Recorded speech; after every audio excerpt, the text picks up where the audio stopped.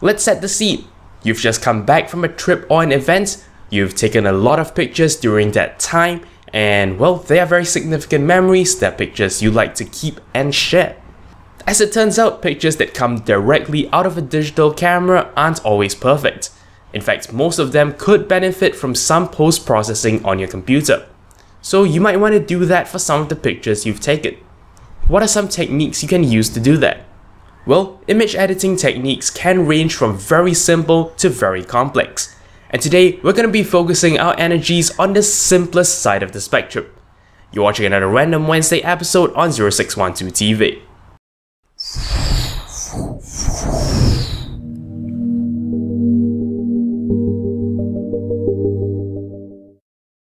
Hello and welcome back to another Random Wednesday episode. As mentioned, what we're going to do today is we're going to look at some very simple image editing techniques. I've chosen these techniques for a number of reasons. First and foremost, they are beginner friendly. So even if you're new to image editing, this shouldn't be too hard of a thing to do. On top of that, they are very fast to carry out, so you don't have to spend a lot of time, you know, just working to try and make your picture look better. And the third reason is that they are widely applicable. Whether you're shooting in the dark, whether you're shooting, say, a sporting event, these tips can be adapted and applied to these different situations, so they're very robust. The software we're going to be using to do all our editing is called GIMP, and it is a free open source software. What this means is you have a very powerful tool in your hands that you don't have to shell out a single cent for, and that is always great. To download GIMP, you can find a link in the video description that will get you to an installer that you can just run on your system and you will have GIMP installed in no time. Of course, this step is optional. If you already have software like Photoshop, then go ahead and use that. Turns out a lot of the things that I will be sharing with you is available in pretty much any image editing software, so you'll be fine. The names will even sound quite similar. So with all of that out of the way, let us begin to look at some steps we can follow to make our pictures look better. And the first of which is brightness. A lot of the time what contributes to a bad looking image is the fact that the brightness isn't quite right. Of course, we cannot salvage every situation. For example, if an image is grossly underexposed or overexposed, there isn't a whole lot we can do because a lot of information has been lost. For example, in a case of overexposure, we lose all the color information in the blown out areas. So yeah, we can't really do very much to salvage that. However, in most situations where the exposure is more or less okay, we can actually use tools to sort of fix things up. There are three tools you can use to do this, namely a brightness and contrast tool, a levels tool, and a curves tool. Brightness and contrast is the simplest though it gives you very little control, Levels is slightly more complex and is the tool I would recommend you use, and Curves is significantly more complex. In fact, I would say it is quite easy to mess up and not really know how to recover from that, which is why I don't use it very often. Since I promised this video will be simple, let's look at the brightness and contrast tool. As I mentioned, I do recommend using the levels tool, but that will be too much to talk about in this video, in fact, we've just looked at it in a previous episode of Friday Minis, so I'll put a link on screen. Instead, let us confine ourselves to the brightness and contrast tool. The first thing you want to do is to adjust the contrast. A lot of the time, images don't have quite enough contrast, so bring it up. And notice what happens, the darker colors become darker, and the brighter colors become brighter. This makes the image look much more vibrant, and that helps in making the picture feel like it is of a higher quality. Of course, don't overdo it, otherwise you'll get strange splotches of color. The best way forward is to increase the contrast subtly. Then use the brightness slider. If the image feels too dark, bring up the brightness slightly. If the image feels too bright, bring the brightness down. What you'll need to do is to find the perfect balance. So with that done, we can move on to step 2, and that is to crop the image. Now, this step is optional, but there are good reasons to do it and if you feel that you need to, do go ahead and do it because it can make your picture look better. Now, there are two reasons why you'd want to crop an image. The first one is practical. A practical reason for cropping an image is of course to actually remove something you don't want. For example, someone walking into your frame, you know, maybe your own hand, stuff like that. Things you actually want to cut out, of course, should be done at this stage. But more interestingly, you can also crop for a stylistic purpose. In this context, what we're trying to achieve is better framing, and that refers to where your subject is in the final image, as well as what the surroundings around your subject are like. Paying attention to framing is one of the things that contribute to making an image look professional and very nice. So yeah, if you don't do it during the image capturing stage, you can still do it later on in cropping. So understanding these two reasons, what we can do is we can actually do both at the same time. Using the crop tool, go ahead and just draw a rectangle around your subject. You can adjust your cropping by dragging the edges around, so don't worry about being too precise.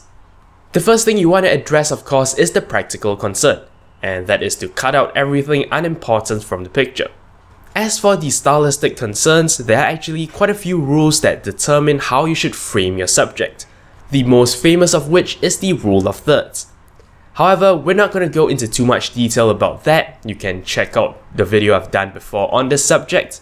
Basically, the one real rule I want you to follow here is to not center your subject try to just push it off to one side, maybe up or down a little, and that immediately creates a much more professional feel in your image. Now, the shape of your crop can also affect the look and feel of your final image. The shape of an image is measured using a unit called aspect ratio, which is the ratio between its width and height. Some common aspect ratios are shown on screen, so you can use these as a guideline. You don't have to strictly follow any of them, but generally, unless you're going for some kind of special effect, you probably want to avoid highly rectangular shapes. After cropping, you can then move on to sharpening. Now, a lot of the time, an image coming directly out of a camera will be slightly blurry. That is just the nature of digital cameras. But thankfully, in image editing software, what you can do is you can sharpen the image. There are two different filters you can use to achieve this effect, a simple sharpen tool, or a more advanced unsharp mask. For the purposes of this tutorial, we're going to stick to the simple sharpening tool. What you want to do is you want to click on that little icon on the lower right and sort of move the preview to an important part of the image. Then bring the slider up slowly. If you over sharpen the image, it is very obvious. You can see a lot of artifacts, a lot of little squarish blocks all over the place, and that naturally doesn't look right. So keep the effect subtle. If you feel like you're not making any change at all, what you can do is you can toggle the preview on and off. Chances are that will be the point you realize that, hey, a subtle setting actually works, because you can't tell you've actually sharpened the image, but it is in fact sharper than before. Anyway, the point is, play around with the slider, use the preview as a good gauge of what the sharpening effect is doing, and yeah, once you're satisfied with the look, go ahead and click OK. And you've just sharpened your image. Next is an optional step, and that is scaling down the image. Like I said, it's an optional step, avoid it if you can, but sometimes in an image there are just issues that you cannot fix. For example, if there is very slight camera shake such that there is motion blur, it is very difficult to counter this effect. Similarly, if you have very slight focal blur, as in your image is very slightly out of focus, well, that might not be easy to fix as well. However, for both these situations, when you actually zoom out on the image, you realize that you can't really tell that that issue is there. And that is what we'll achieve by scaling down the image. We basically hide away the flaws by actually reducing the resolution of the image. Like I said, of course, this is a huge trade-off. Don't do it if you can, but do it if you have to. How much you want to scale down the image depends on how big the problems are. What you can do is you can go ahead and scale down the image and then check and see if it's too much or too little, then undo the operation and scale it again. So once you're done with the scaling, we can now move on to our final step, and that is color correction. Now, even though the word color correction actually makes it sound like we are just trying to fix a problem here, really color correction has two parts and indeed the first of which is to fix a problem. A lot of the time, a practical reason in this context would be to remove a color cast. And what that means is, if an image is discolored uniformly in a certain way, that is considered a color cast, and that is something we can quite easily remove. Once we're done with that, we can move on to the stylistic side of things, which in the context of filmmaking would actually not be known as color correction, but be known as color grading instead. The point is, we want to actually tweak the colors so that the image appears stylized. There are two different tools we can actually use for this, namely a hue and saturation tool and a color balance tool. The color balance tool will be the more advanced of the two. In fact, I've previously done a pretty in-depth video about working with color casts, and that uses the color balance tool. So yeah, there will be an annotation link on screen, click it and check it out. However, in the context of this particular video, we're going to confine ourselves to the hue and saturation tool. While this tool appears very complex, you can ignore the difficult part and just work with the simple one. In fact, really only one slider is particularly important, and that is the saturation. Changing the saturation directly affects the amount of color in the image. When you reduce the saturation of an image, the colors appear very washed out, whereas if you actually increase it, you notice that the colors become much more vibrant. You can use this to basically tweak the overall color of the image. If you have a serious color cast, what you can do is you can go to the radio buttons on top and pick the channel that you want to affect. You might want to bring the overlap slider up a little bit and then reduce or increase the saturation. When you do things this way, you are affecting just that one color. You can also use the hue slider to basically change one set of colors into a completely different set of colors. But this is kinda trippy looking and of course you don't want to overdo this. If you're on the master channel and you want to slightly tweak up skin tones, you can actually use the hue slider. Moving it one direction makes skin tones look yellower, whereas the other direction makes it look redder. So yeah, if skin tones are too yellow or too red, you can use the hue slider to correct for this. With just these simple steps, you can actually move your image from, you know, a kind of boring, normal-ish looking image to something that looks more vibrant, that looks more alive.